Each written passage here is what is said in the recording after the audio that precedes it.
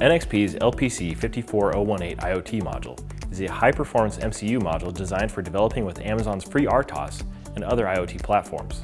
The module is based on the LPC54018 ARM Cortex-M4 MCU running at 180 MHz, with USB, a Wi-Fi module, and 16 megabytes of serial NOR flash on board. The board is Amazon FreeRTOS enabled, making it easy to securely connect, manage, and scale with AWS. The module features expansion connectors for external peripherals, memory, and communication interfaces. It can be used standalone, or it can be connected to the NXP IoT module baseboard with an LCD touchscreen, additional memory and peripherals, Arduino Uno expansion connectors, and an onboard debugger.